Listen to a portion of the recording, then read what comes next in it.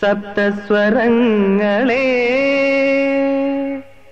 ശ്രുതിയിൽ വിരിയും പുളകങ്ങളെ നാദപുളകങ്ങളെ.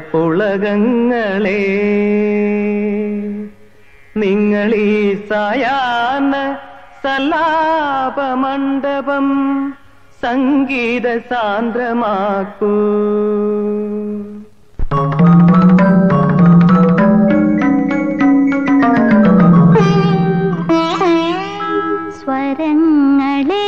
प्राप्त स्वरम्